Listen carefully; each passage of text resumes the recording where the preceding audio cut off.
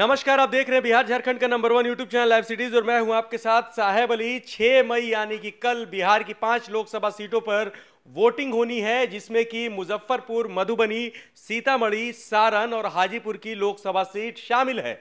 लेकिन इस बीच बड़ी खबर यह है कि एक और लोकसभा क्षेत्र में मतदान होना है। जी हाँ, वो मतदान पुनर्मतदान होगा। हुआ कुछ ऐसा था कि लखीसराय में, जो कि मुंगेर लोकसभा क्षेत्र में आता है वहाँ पर कुछ वोटिंग हुई थी, जिस पे कैप्चरिंग का मामला आया था और बूथ कैप्चरिंग इस मामले को लेते हुए इलेक्शन कमीशन ने संज्ञान लिया, जिसके बाद चुनाव रद्द कर दिया गया और पुनर्मतदान अब कल ही होने हैं।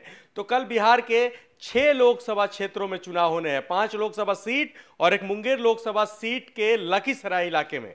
वोटिंग होनी है, दो बूथों पर मतदान होना है। अब आपको बता दें कि इस पाँच लोकसभा सीट जिसमें कि छह मई को कल वोटिंग होगी, उसमें कौन कौन से दिग्गज शामिल हैं? तो बात कर लें मुजफ्फरपुर की। सबसे पहले मुजफ्फरपुर की बात कर रहे हैं। वहाँ पर अजय निषाद, जो कि कैप्टन जयन निषाद के बेटे हैं और मौजूदा सांसद हैं मुजफ्फरपुर लोकसभा सीट से। उनका मुकाबला जो है वीआईपी के टिकट पर चुनाव लड़ रहे हैं डॉक्टर राजभूषण चौधरी निषाद से। निषाद बनाम निषाद का यह मुकाबला है। एक तरफ़ नाव तो दूसरी तरफ़ कमल के बीच मुकाबला होगा। मुकेश सहनी वीआईपी के मुखिया हैं son of Mukesh son of मल्लाह मुकेश सहनी।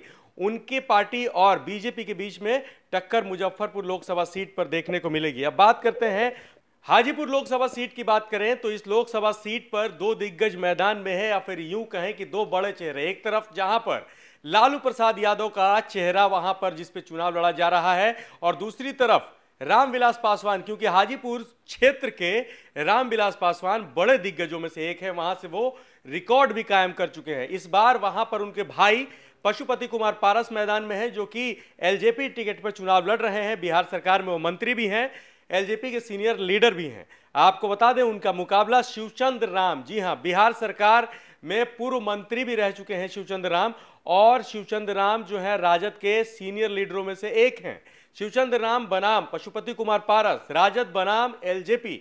जी हाँ, यहाँ मुकाबला काफ़ी दिलचस्प होगा। इसके बाद हम बात कर लेते हैं सारण लोकसभा सीट की। सारण लोकसभा सीट पर राजीव प्रताप रूडी। जी हाँ, भाजपा के बड़े नेता हैं, पूर्व मंत्री भी हैं। आपको बता दें कि इस लोकसभा क्षेत्र में वो मौजूदा सांसद हैं। उनका मुकाबला चंद्रिका प्रसाद राय, जो कि राजद के सीनियर नेताओं में से एक हैं। तेज प्रताप यादव के ससुर भी हैं वो, और उनका मुकाबला राजीव प्रताप रूडी से होना है। वहाँ पर भी जो है लड़ाई लालू के चेहरे बनाम, पीएम नरेंद्र मोदी के चेहरे के बीच में हो रही है। देखना होगा कि सारण लोकसभा सीट की जनता किसे विजयी बनाती है, किसे अपना सांसद चुनती है। क्या पशुपति कुमार पारस को मौका मिलता है एक बार, या फिर राजीव प्रताप रूड़ी को दोबारा सांसद चुना जाता है? अब बात करते हैं मधुबनी लोकसभा सीट की। मधुबनी लोकसभा सीट पर इस बार तीन दिग्गज मैदान में है। जी हाँ कांग्रेस के नेता हैं शकील अहमद।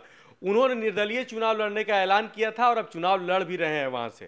कांग्रेस ने चुप्पी साधी है, महागठबंधन में किचकिच हो रहा है। एक तरफ़ जहाँ पर महागठबंधन के टिकट से महागठबंधन के कैंडिडेट हैं, वीआईपी के टिकट पर चुनाव लड़ रहे हैं बद्री पूर्वे वो मैदान में है, निर्दलीय शकील अहमद मैदान में है तो दूसरी तरफ़ एनडीए के कैंडिडेट अशोक कुमार यादव मैदान में है।